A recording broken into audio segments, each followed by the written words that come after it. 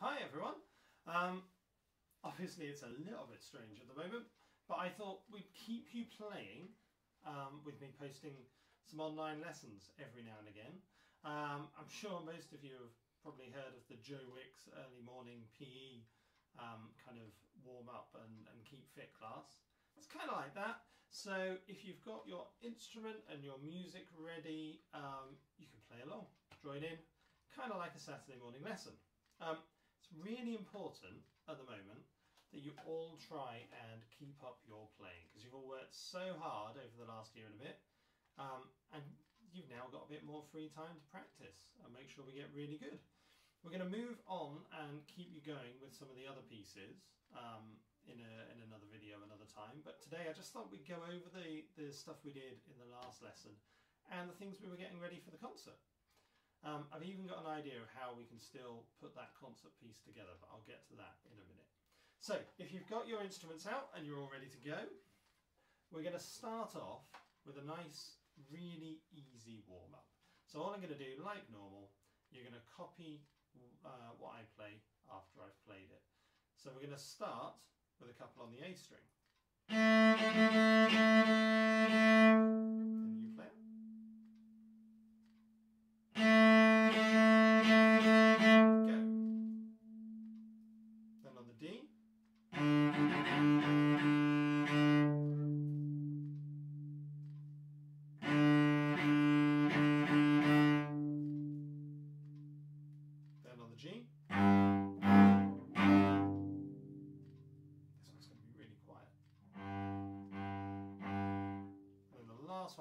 On the C. Brilliant. Okay, now this is a really easy bowing warm up. Um, I've used it with the, the beginner Let's Play group, but I, I use it with adults and stuff as well. So what we're going to do, because I can't, you don't get me nagging you about how much bow you're using, because I can't see you and things. For a minim, we're going to use a whole bow, okay? So we're going to play four whole bow minims on the A string. You can play along with me, but we're in a minute and we're going to go.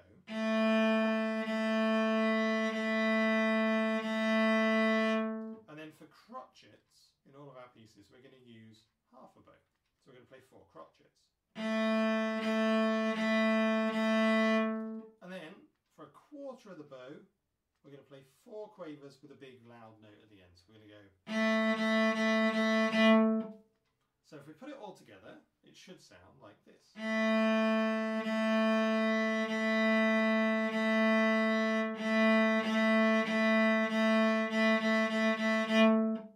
Make sense? Now what we're going to do, we're going to go down each of the strings. So we're going to play it on the A, and we're going to go straight to the D, straight to the G, straight to the C. So you ready? You're going to join in with me. After four. One, two, three, four.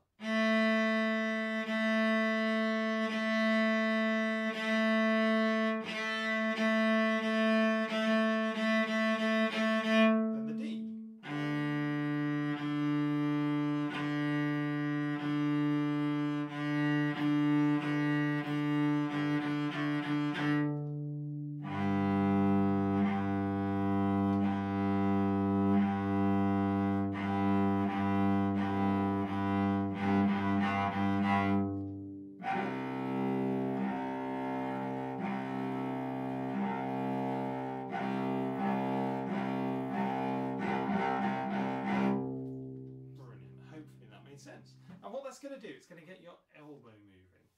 Because one of the things people tend to do when they spend a lot of time practicing on their own is their elbow stops moving. And so you go to play and it's kind of like... And you're thinking, why does my cello not sound as good? It's just your elbow moving. So the difference is... Against... It just sounds like we're sitting up and sounding a bit more open and making more sound, that kind of thing. Okay, now the last of our warm-ups, we're going to play a D scale and, so, and a G scale together. So our D scale is going to go all the fingers, except second fingers, from the D up to a 4 and A. Thereabouts. Okay, so we're going to try it. After 4 we're going to go D, 1, 3, and each bow is going to be a minim. Okay, so that means we're going to be using our full bows like in the warm-up. So one, two, three, four.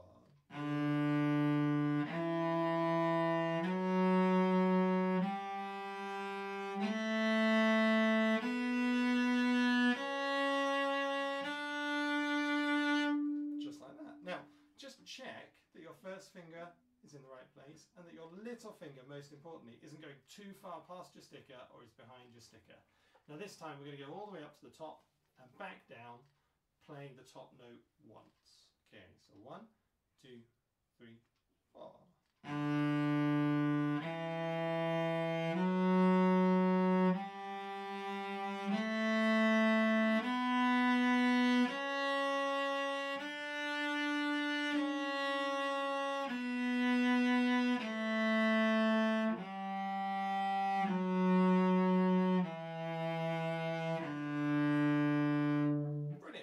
If we move that down a string, so we're going to start on G and go all the way up to a 4 on D, we've got our G scale.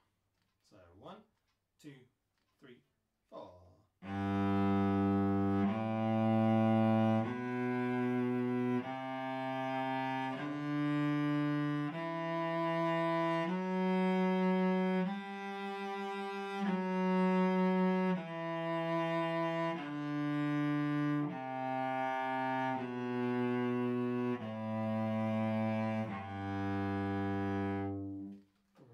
You're practicing this not along with the video, just and you're playing it for yourself, you might want to mix it up. So you could take your crotchets and play two crotchets on each note.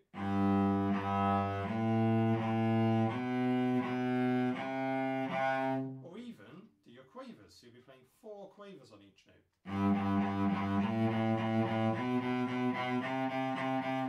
The key thing is to make sure your first finger's over the sticker and your little finger reaches down to that sticker. And just, yeah, like I say, keep that elbow moving.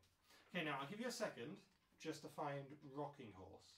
And whilst you're doing that, um, what would be brilliant is if we could, um, maybe if your parents are happy with this, send a recording of you playing along with this in a minute.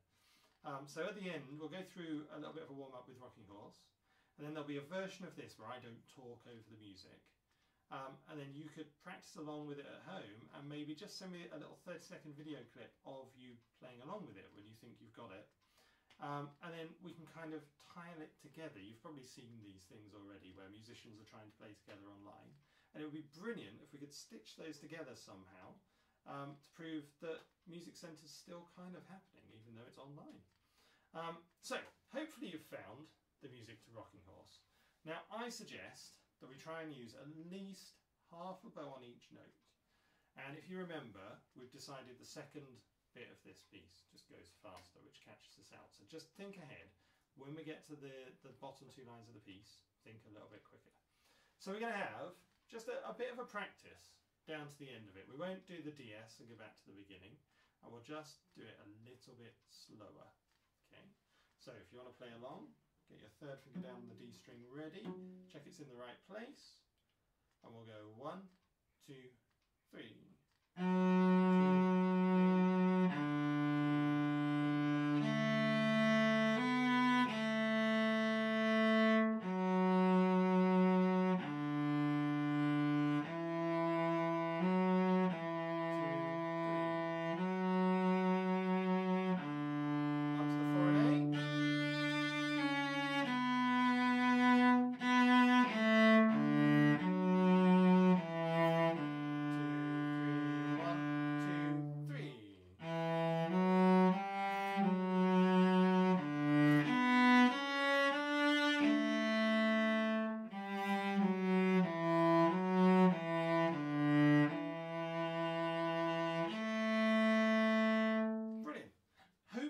Kept up with that. If you didn't, just pause the video for a minute, have a look at any of those bits that were a little bit tricky on their own, um, and then hit play and catch up with me in a minute. Um, what we're going to do now, we're going to try and play along with it on the CD. So this time through, I'm going to shout a few things over the top just to help you out and keep us all going, okay? So you'll hear the beginning of this.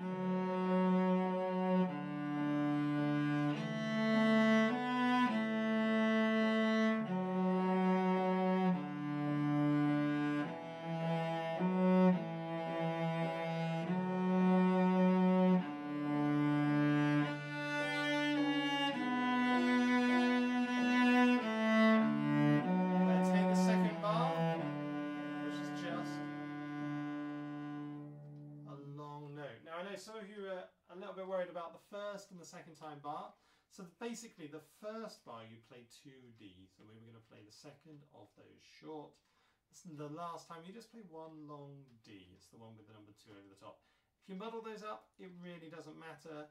Um, you could just cross out the the first bar, like the bar, the two bars with the one on it.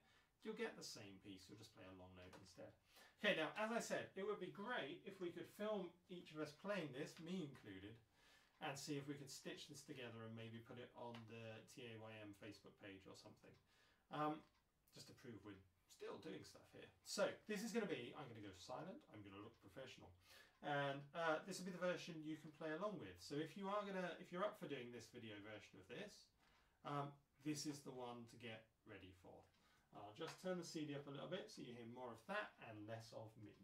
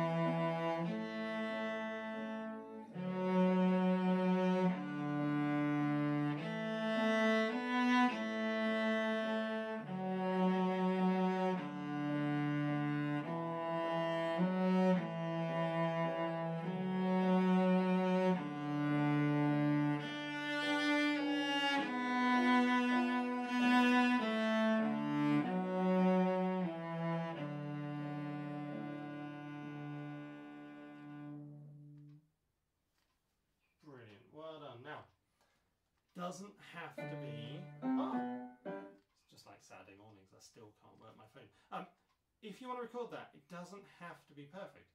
I wasn't then. I missed an entry on the, the last line but one because I wasn't paying attention to the CD. And I finished the wrong way around on the bow.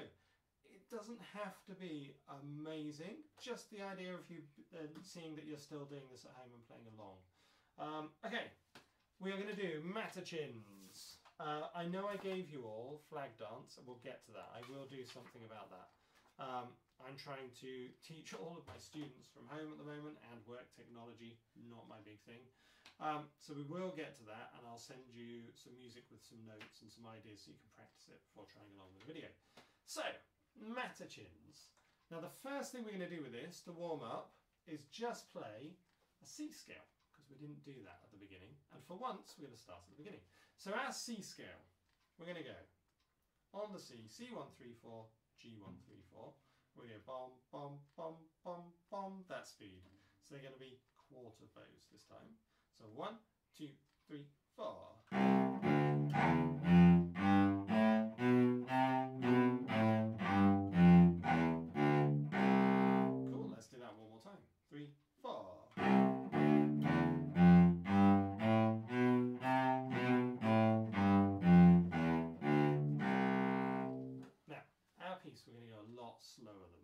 Here's your quick reminder of how this goes.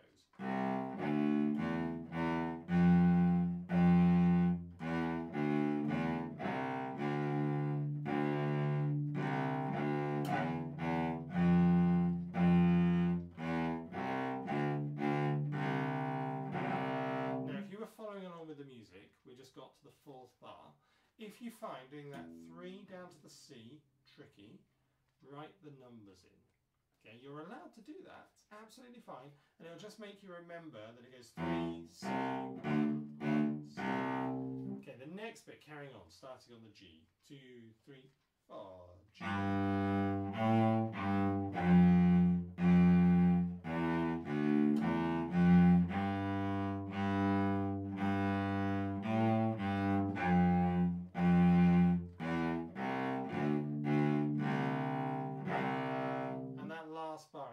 works exactly the same thing. If you write 3, 0, 1, 1, it might just help your brain keep up with this bit because it's a little bit tricky. So let's have a playthrough of this first section all together. And if you want to make it sound more like a dance, those crotchets we make nice and short. Just lifts the music a little bit. Okay? So one, two, three, four.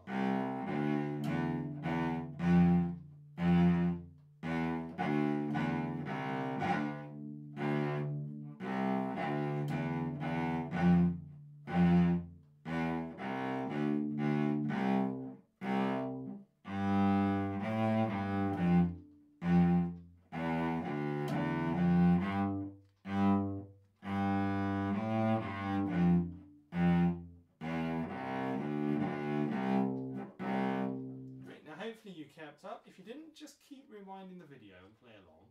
Um, try it a few times, come back to it another day. If it starts to get a little bit frustrating, just keep playing. You'll get there. You've got lots of time to get this right. Um, finally,